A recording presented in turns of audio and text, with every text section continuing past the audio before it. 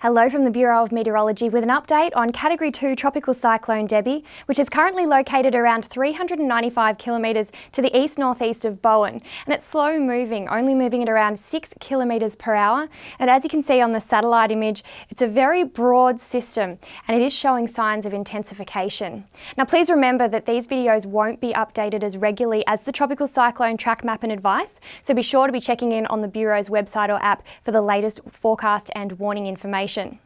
And the forecast track map hasn't changed very much in the last day or so, so we still expect Cyclone Debbie to intensify into a severe Category 3 cyclone by later tonight uh, and further intensify to reach a severe Category 4 intensity late on Monday, with expected wind gusts near the centre up to 260 kilometres per hour, strong enough to cause structural damage and dangerous debris.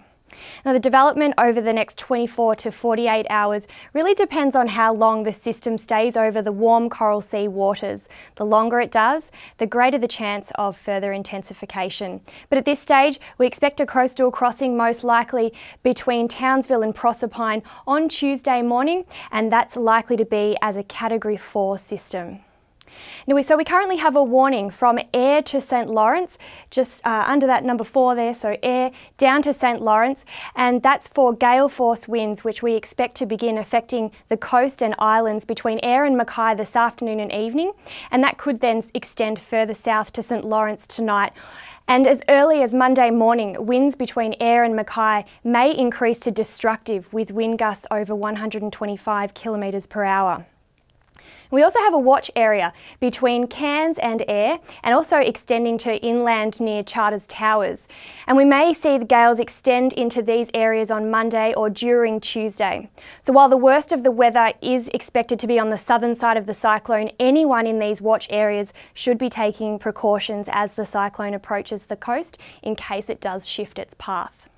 Now, areas of heavy rain are also expected to develop about parts of northern and central Queensland coast and adjacent inland areas from tonight and continue through Monday and Tuesday.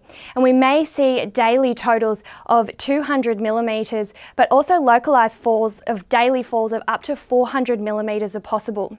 So initially we could see some severe flash flooding from tonight, but after several days of rain, the catchments in this region, particularly those that have already experienced significant rainfall may begin to experience riverine flooding and we have a flood watch current for the coastal catchments between Cairns and Gladstone extending inland to the eastern Gulf River catchments.